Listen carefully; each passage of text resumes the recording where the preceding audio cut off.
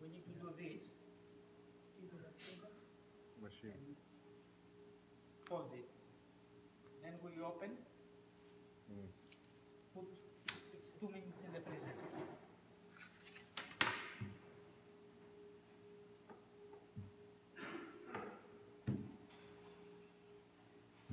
In the day or the normal?